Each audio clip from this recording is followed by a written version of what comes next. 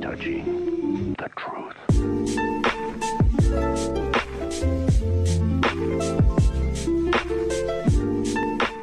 Hey, what is going on guys? I'm back with a brand new video and in this Minecraft video I'm going to show you how you can make an AFK sheep farm and the new whatever snapshot this is there'll be a there'll be a some text on the screen.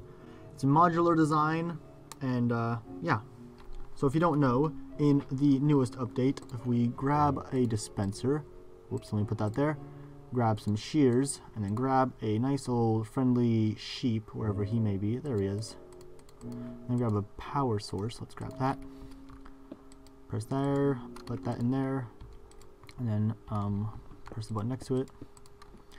Put there, there. And we press it. As you can see, the shears uh, will shear the sheep from the dispenser.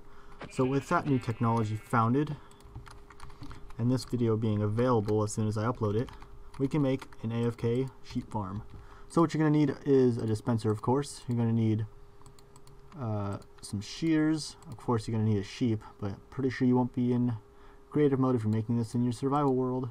You're going to need a observer, some grass, a piece of redstone somewhere right there. I'm trying to think anything else. We'll probably we'll stumble upon it. Oh yeah, um, going to need minecart chest and then a rail of any kind. So place down your rail, place down your minecart. It's a pretty small design. Let me grab a building block.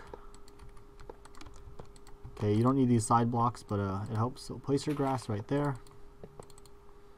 Then place an observer facing outward, so the arrow is facing away from the dirt block or the grass block. Place that into another block. Place the redstone on top of that.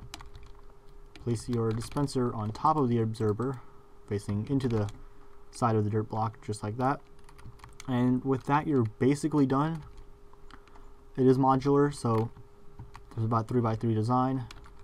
But since we're gonna keep the uh, we're gonna keep the sheep captive, I'm going to where's the glass? This will work for right now. Let me just replace that. I'm just gonna keep the sheep captive for right now. There we go. Build a little container around it. Oh yeah, last part, uh, put the shears in there, and then spawn in your sheep. Oops, okay, hopefully you can't hear my keyboard too bad. So when the sheep eats the grass, it'll update the block, or update the observer, which will activate this redstone, which will activate the shears, which will in turn feed, or I mean uh, shear the sheep.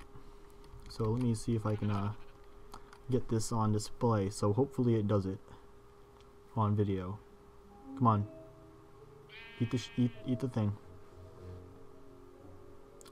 So while we're waiting for this guy to eat the uh, grass, hopefully he does soon, it is modular design like I already said. Don't put more than one sheep in the cell. One of these is a cell. I'm calling it a cell. Um, it does shear more than one sheep, but at some point all the sheep, uh, all the sheep are sheared. That's a tongue twister right there.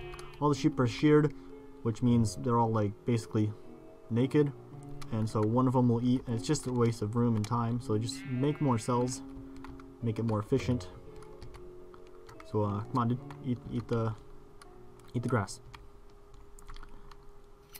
perhaps he'll be more incentivized if he's already uh, missing some wool come on eat the grass